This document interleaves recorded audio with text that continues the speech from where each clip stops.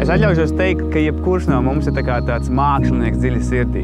Un tīpaši tagad, kad pavasaris zeļ un plaukst, viss kļūst zaļš un atdzīvojās. Kāpēc gan nepamēģināt šādu filozofiju iedot sev, kā katram savam īpašam māksliniekam, atzīt bišķiņu no jauna un nāk klajā ar kaut ko pavisam svaigu? Man ir patiesas prieks, ka ir realizējies šis koncepts par koncertu dabā, un es ļoti ceru, ka jūs viņu izbaudīsiet, jo man tas sagādāja prieku, un tāpat arī māksliniekiem tas ļoti patikās. Tas hashtags paliec mājās ir tiešām zīmīgs, un zīmīgs ar to, ka beidzot tu vari pavadīt laiku ar sevi kopā. Kāpēc lai to nedarītu dabā, starp kokiem?